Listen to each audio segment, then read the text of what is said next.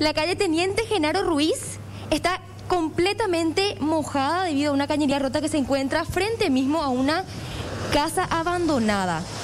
Estas aguas recorren desde Padre Cardoso hasta la avenida General Santos. Estamos hablando del barrio Las Mercedes.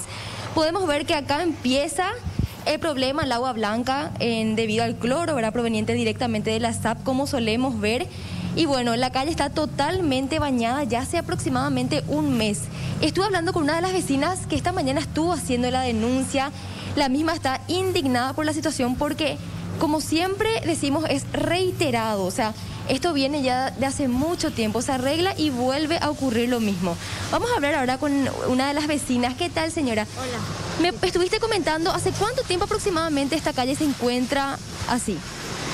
Y bueno, que yo estoy en esta calle hará como 10 años, pero esta situación eh, se presentó después de que se hayan cambiado los las tuberías creo que modernizaron, cambiaron, ampliaron y a partir de ahí no sé si es un trabajo mal hecho de parte de la SAP, pero sí sin duda alguna que es muy reiterativo. Se rompen, creo que acá en menos de tres meses habrá roto diez veces.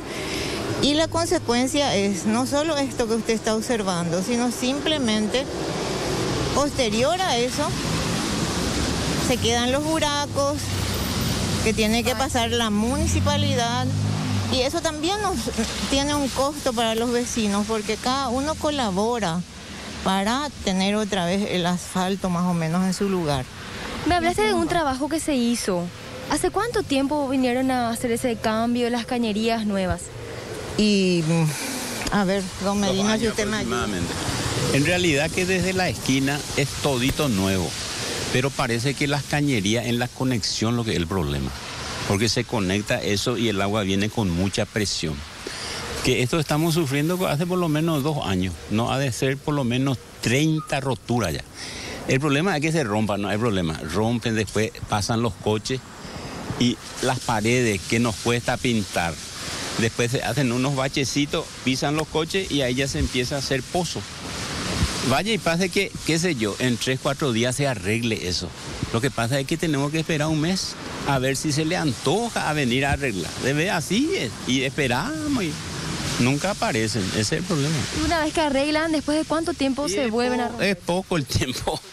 En o sea, más tiempo no está bien la calle que es lo que se encuentra. Exactamente, así mismo, eh, así mismo, lastimosamente. Y bueno, esta es la situación que están viviendo acá los vecinos ya hartos, claramente, porque impresionante, nosotros estuvimos pasando por acá y yo me mojé como tres veces ya. Imagínense, es una calle bastante transitada. También me estuviste comentando que muchos camiones pasan por acá. Lo que pasa es que cuando cierran Artiga o España, Mm. por el tema de los indios, los camiones de gran porte pasan por acá.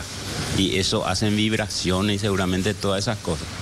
A mí que no me interesaría que se rompa o no se rompa, pero que sea rápido es la solución.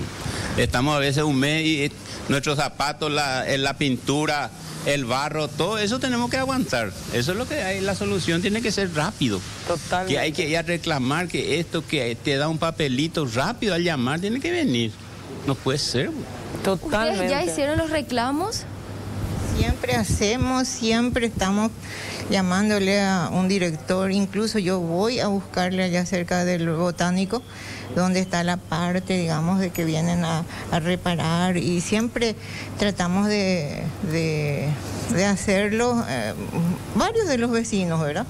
Y sin embargo, al poco tiempo ya explota yo en un lugar al, al rato para allá y así.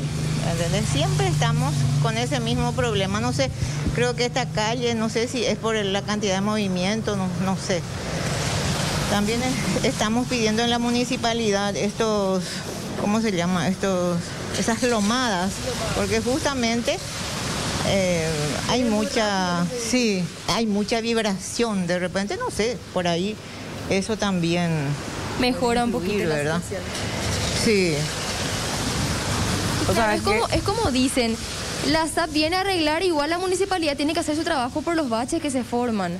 Claro, Decime, Nati. eh, eh, lo que me doy cuenta es que un, un problema trae otro y otro y otro. Y cuanto más se tarda, más grande es el problema. Eso es lo que está sucediendo ahí todo el tiempo. Y la, la consulta, ¿verdad? Y la denuncia que tiene el ciudadano, ni siquiera es que se rompa, porque puede pasar que una cañería se rompa, puede pasar que haya un corte, que haya algo, todo eso puede pasar, que haya un bache. El problema es que nunca se soluciona, que hay que esperar demasiado tiempo a que alguien tome acción, que un vecino tiene que denunciar y tiene que denunciar todos los días, llamar todo el tiempo, toda hora. Uno también tiene una vida, uno también tiene eh, sus trabajos, sus otras responsabilidades, su familia, el tiempo que dedicar en otras cosas y, y de repente pierde mucho tiempo en esto y además le estresa mucho esto porque no hay solución. Está diciendo casi un mes y esta no es la primera vez, entonces se vuelve a romper, la solución es a medias. Porque otra vez digo, Fer, si la solución fuera medias y esto durara seis meses, pero cuando se vuelve a romper, vienen y arreglan al toque y dura otros seis meses, nadie ni se quejaría, aunque sea una solución a medias. ¿Por qué? Porque lo están haciendo rápidamente. Entonces uno casi no siente el problema y no le genera ese estrés. Es lo que decía el Señor todos los días. Ensucia, funde la vereda, se tiene que romper, mo, eh, los zapatos. Uno no puede moverse tranquilamente. Después vienen otros camiones de gran porte. La verdad, es una lástima y esto viene siendo una constante. Tú sabes que me pongo ya en el lugar de toda la ciudadanía y, y, y nosotros acá desde turno tarde como que sentimos, y te pasa a vos, Fer, incluso, que a veces vos misma tomás acción y decís, che, mira, pasamos en esta calle antes de llegar al punto donde nos íbamos la denuncia, pero paramos porque vimos una cantidad de baches o vimos tal problemática.